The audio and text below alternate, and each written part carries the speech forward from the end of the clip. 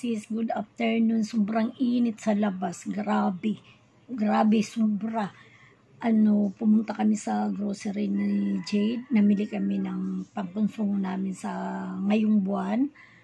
Sus, my goodness. Yung binili namin 6,000. Dala, isang sakong bigas, 50 kilos, tsaka yung kunting grocery lang.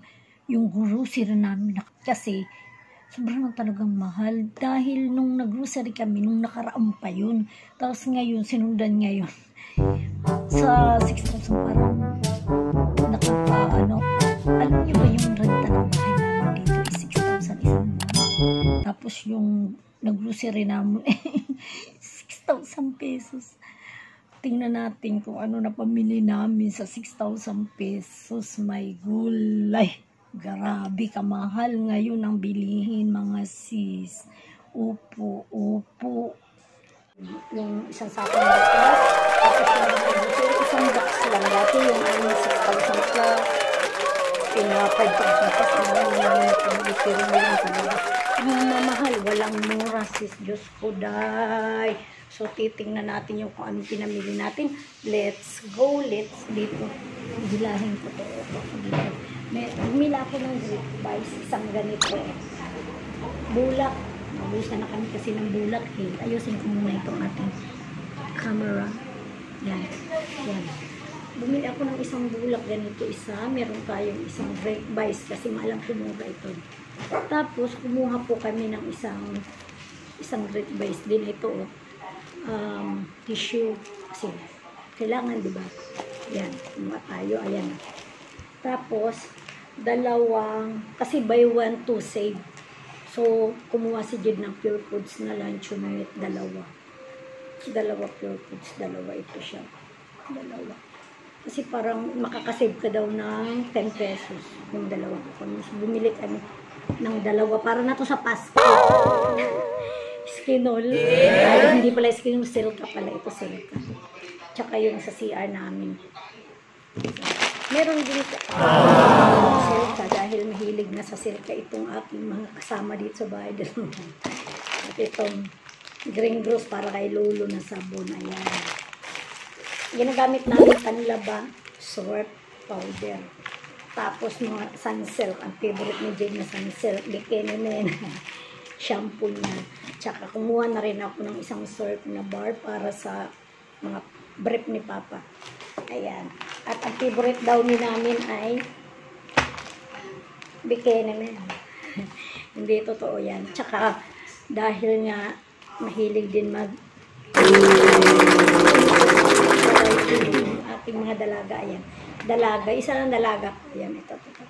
Kumuha tayo ng dalawa.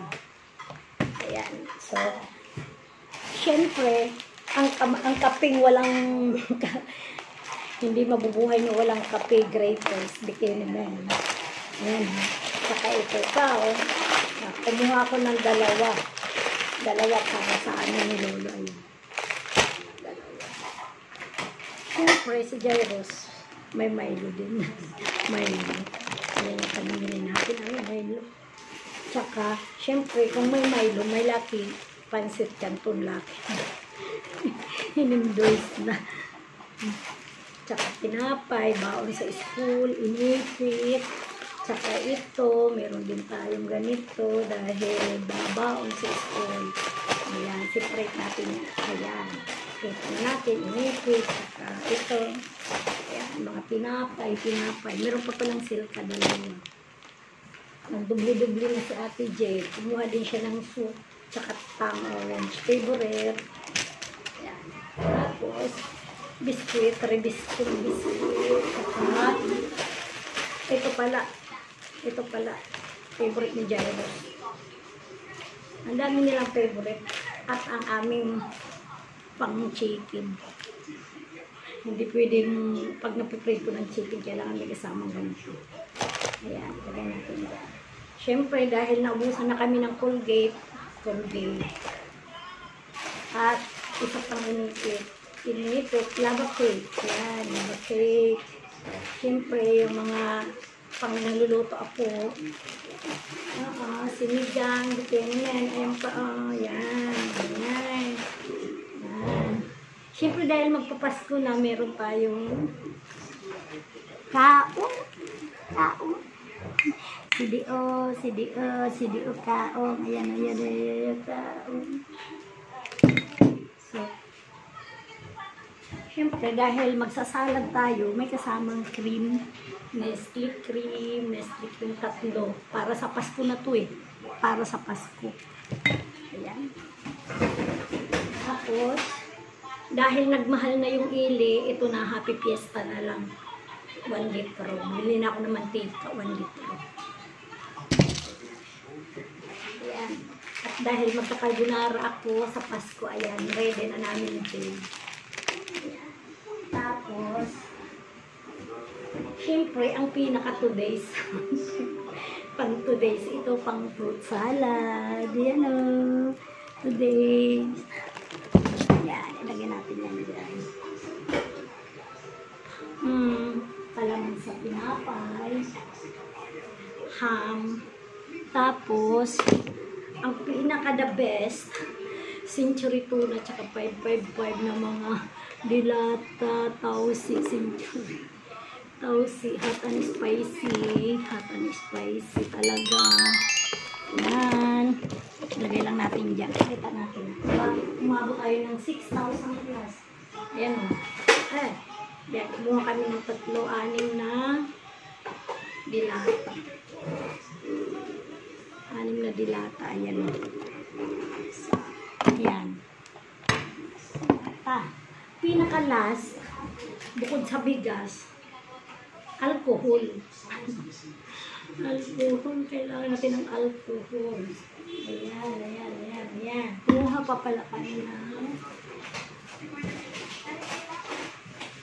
Kumuha pa pala kami ng isang Alaska tsaka Quaker oat at itong yan o. Yan talaga. Para naka November pa lang ka, alam mo, papasko na. So that's right sis, 'di ba? Ang kunti lang ng ating pinamili pero umabot ng 4,000 pesos. Yun lang yung grocery na yun ha. Yun lang. So gaano pa yung mga mahina sa diskarte na hindi tayo magsisikap. Hindi yan aabot ng isang linggo sis.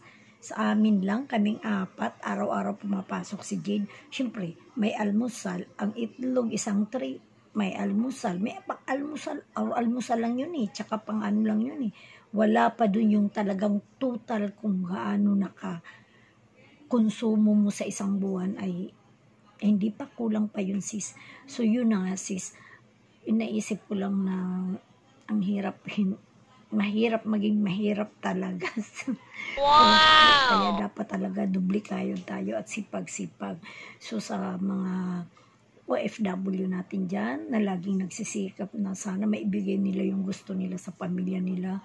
Sis, dublihin pa natin yung sipag natin. True talaga yan. Bue, paano pa yung kung may pinagpagatas ka pa, di ba? Yung may baby ka, yung may, may, ano, may, may sakit sa pamilya, o kaya yung anak mo may sakit. Ay, Diyos ko, di maisip-isip talaga, promise. Kaya, sabi ko, Diyos ko, tulungan mo sana kami. Kaya, man, magsarig lang talaga tayo sa Panginoon, ano?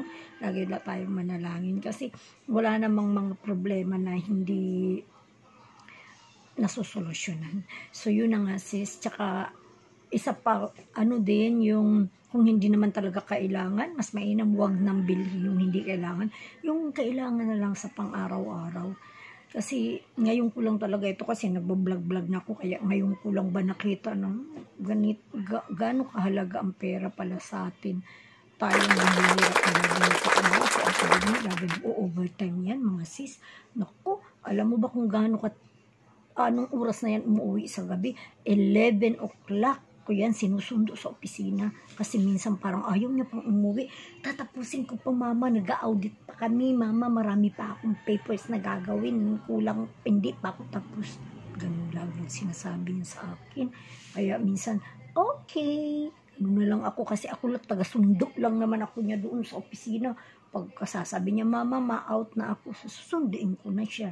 Pero yung, siya naman talaga yung tatrabaho. Eh.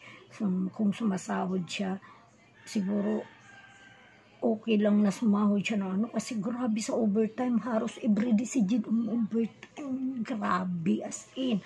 Kaya kung mag-aasawa si Jid ng tatamad-tamad noy wag na noy. Maawa ka noy wag na noy. Kasi kung tatamad-tamad ka lang na yung anak ko halos gusto nang matulog sa opisina. Wag na. Kaya dapat masipag din yung maging asawa ni Jid sa future. Sa future. Pero may boyfriend naman yan si Jid. Oy, may boyfriend niya si Jid. Yung boyfriend niya.